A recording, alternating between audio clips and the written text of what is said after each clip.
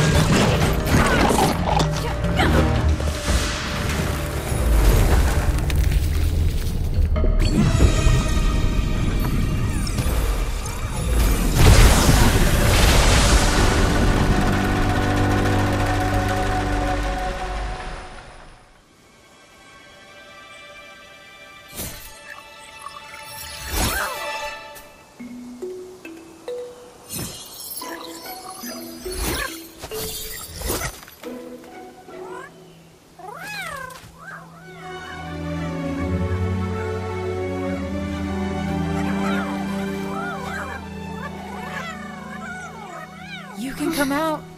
It's safe now. Look, Saiya, she cleared away the poison. The little guys can eat it.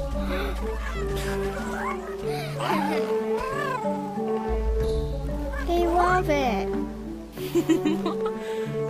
My name's Kena. What are you two doing out here, alone in the forest?